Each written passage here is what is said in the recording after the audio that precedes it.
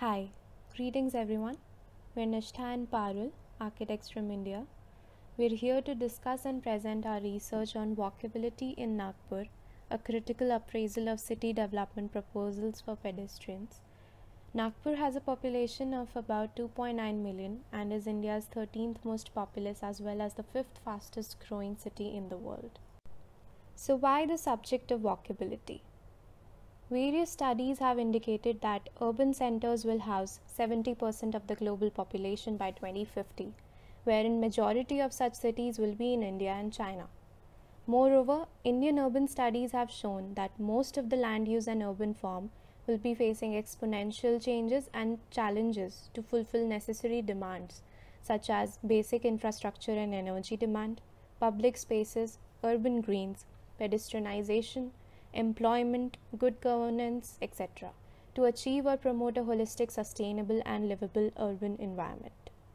According to the 2011 Indian census, about 23% of work trips happen on foot, 13% on bicycle, and 18% on public transport, with only 15% of trips on private transport. Yet the situation is precisely surmised in an article dated August 2015 written by Ms. Sunita Narain for Down to Earth magazine, titled Pedestrian Question. A number of people in our cities walk, but they are invisible to the planners and a nuisance to car drivers. According to government's own estimates, roughly 30% of city dwellers across the country commute daily by walking. The major challenges faced by the pedestrians are absent provisions like sidewalks, footpaths, footover bridges, subways, poorly designed provisions such as improper levels, ill placed street furniture, urban utilities, irregular footpath levels, encroachments, etc.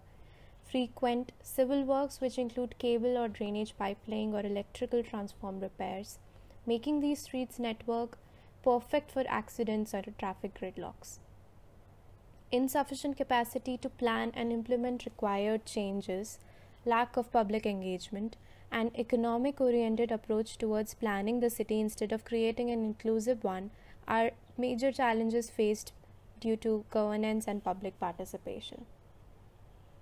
Stakeholders and their concerns. Given the set premise, the deficient section in which exclusive urban planning ventures comprise of the people who are vulnerable as per a single or multiple parameters such as age, physical ability, social safety, economic constraints, etc.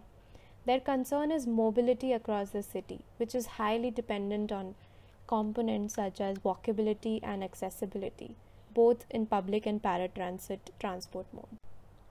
So, the city that we've chosen to study for our research is Nagpur, which is situated in the state of Maharashtra in the Indian subcontinent.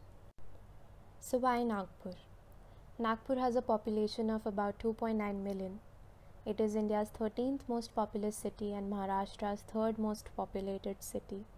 If we talk about economy, Nagpur's contribution to India's GDP is about 0.6% and to Maharashtra state's GDP is about 4%.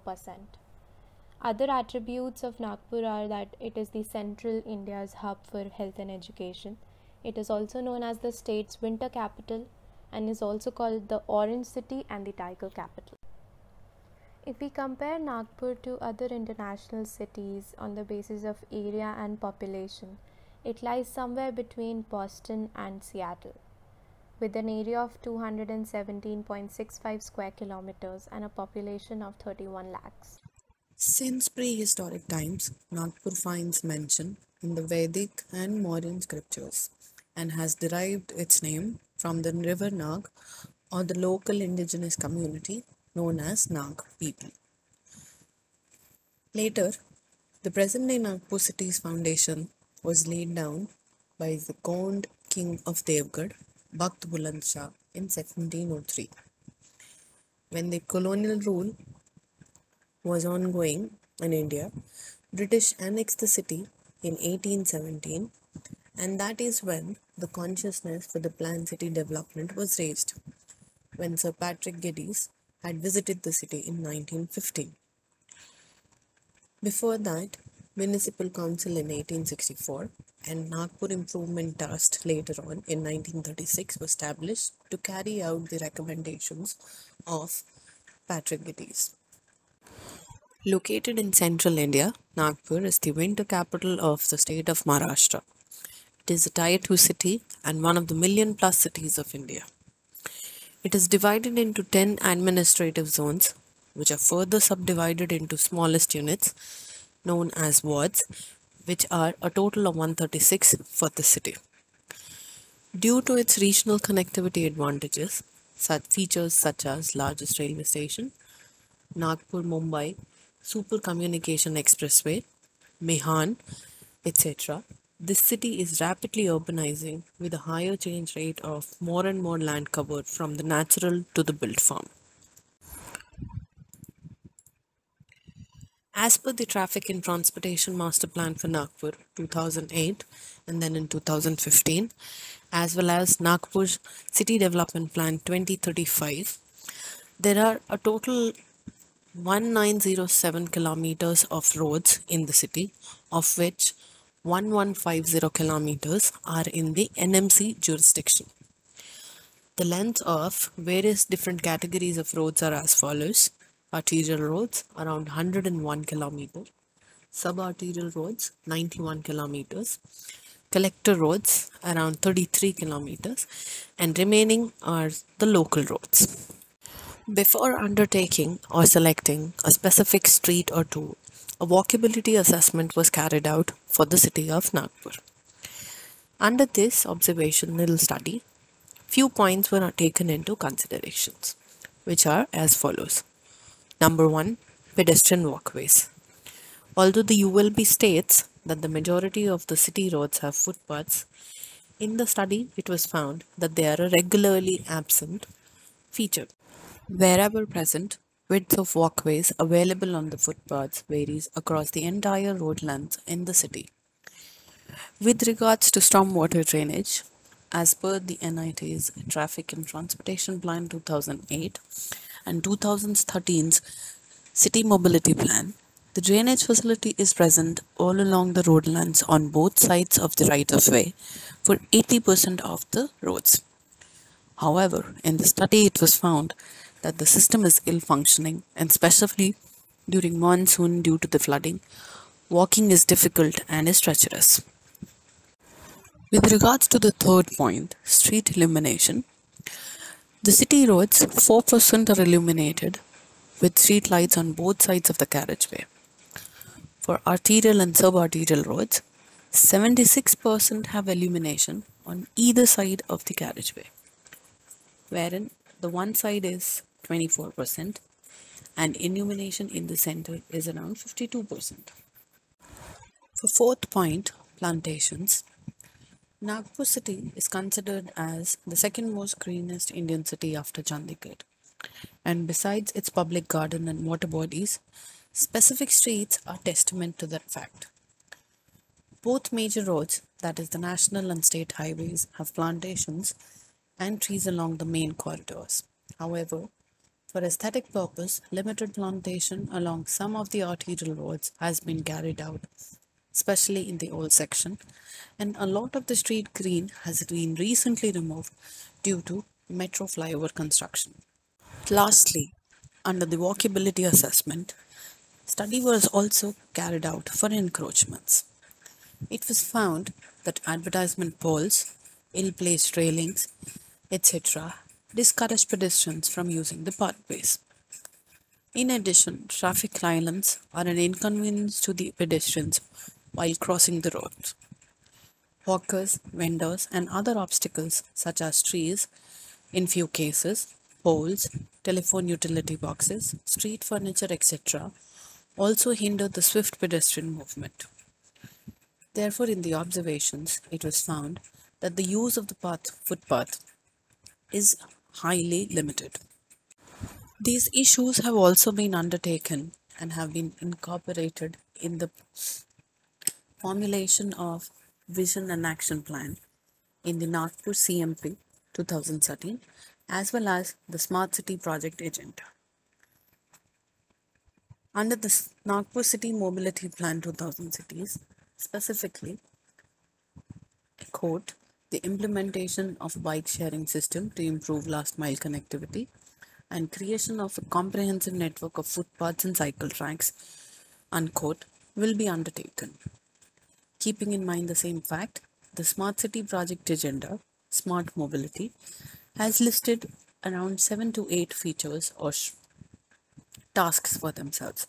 These are Project Tender Sure, Road and NMT, to minimize the harmful effects of civil works which keep on happening throughout the year, Pedestrian First Initiative, Move People Initiative, under which e buses will be provided for the people, then Smart Bus Shelters, Project Share a Bike, Project Open Street, e rickshaws, Junction Improvement Project, and so forth. However, as per the 2017 implementation of Smart Cities Mission Maharashtra Review Report, the status of completion of all these projects in the city of Nagpur is still in their infancy, which has been further delayed due to the ongoing pandemic, and only financial models have been approved and mobilized for carrying out of the work. Post the walkability assessment, a specific area was identified and for the same, the old area of Sita Buldi was selected. Sita Buldi is one of the oldest sections of the Nagpur and is present at the intersection of the old and the new developments. It is presently the CBD of Nagpur with a high density of 700 persons per hectare and 184 acres of land.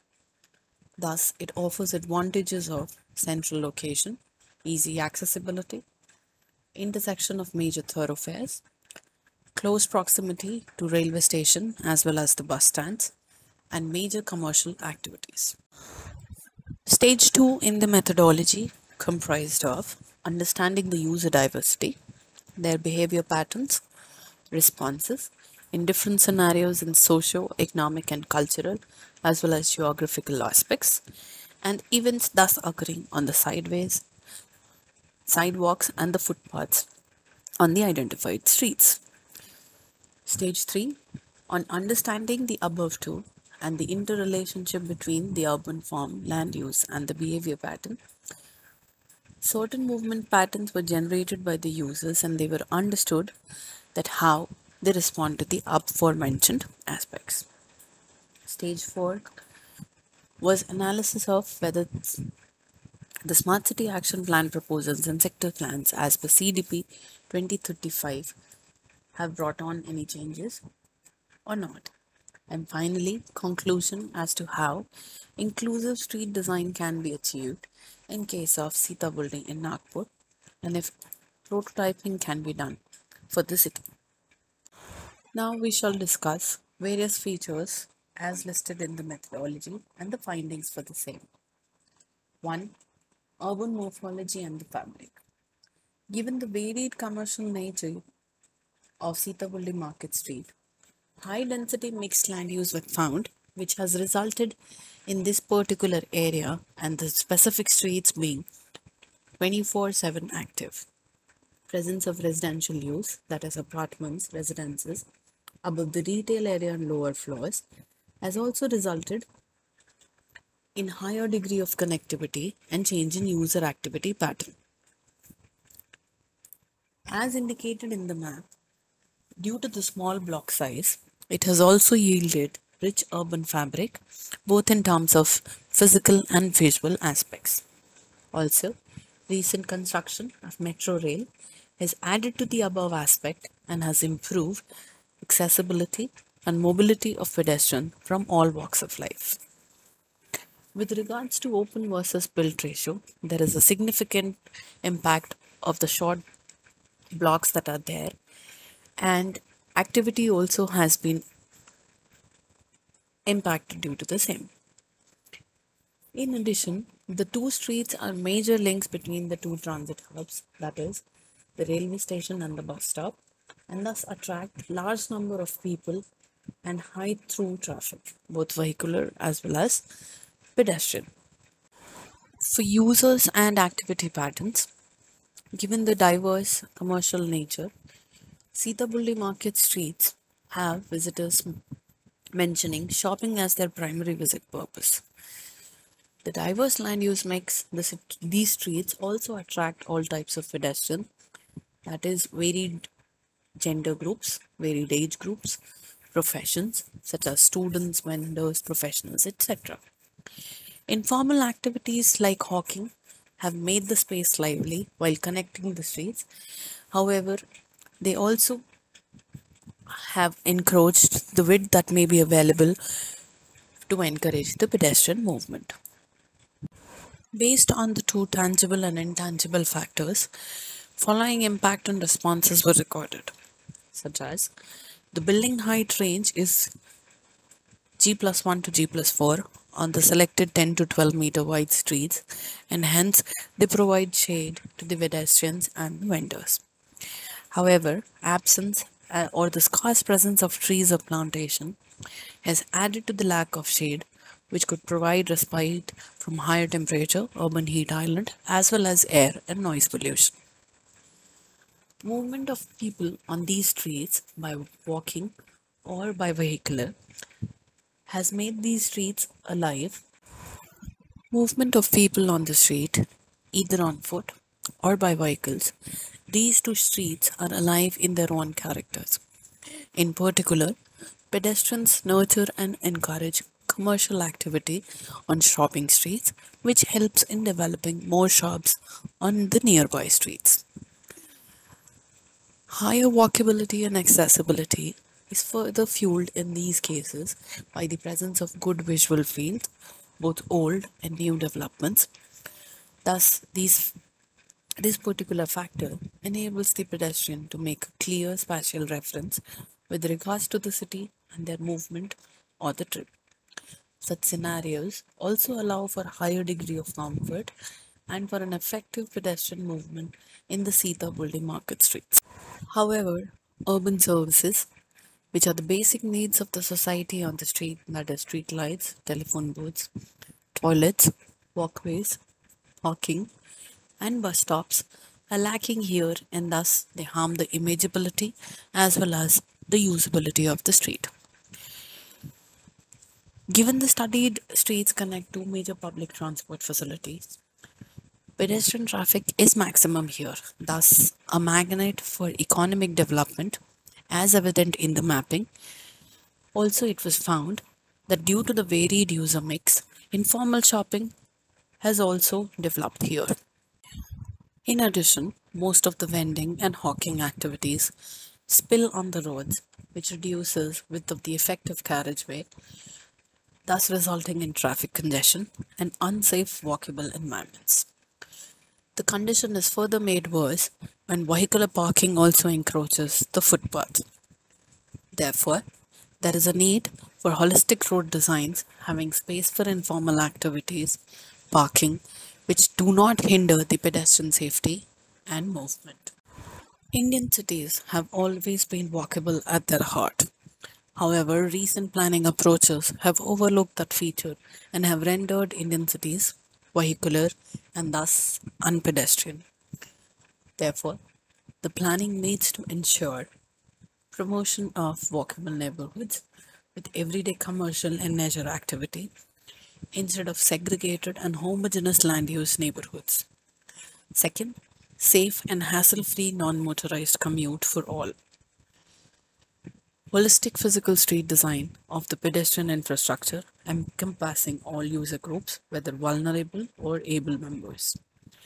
And provision of street infrastructure to encourage and boost pedestrian accessibility. Sensitive bylaws, policies, and regulations to safeguard and nurture the experience of a pedestrian by taking in surveys and engaging people.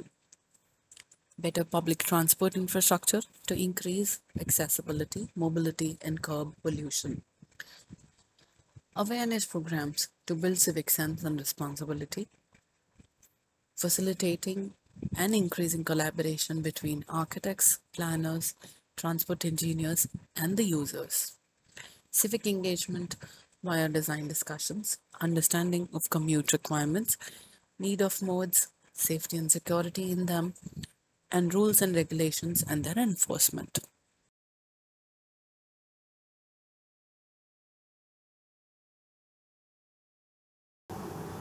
Thank you so much everyone for your patience and time. This is the end of our presentation. Thanks a lot.